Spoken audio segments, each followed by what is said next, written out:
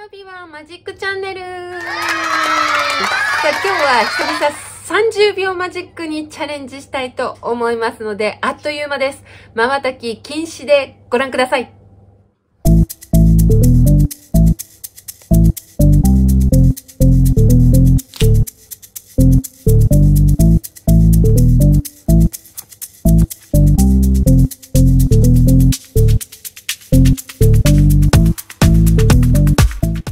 大成功この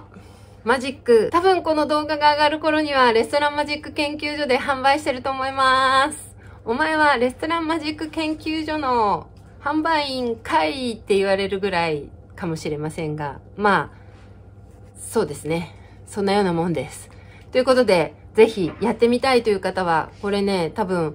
オンラインでもすごく映えるマジックだと思うので、やってほしい TikTok やってる人とか、ぜひ取り入れていただけたら嬉しいなと思います。レストランマジック研究所で売ってます。やってみてね今日はここまで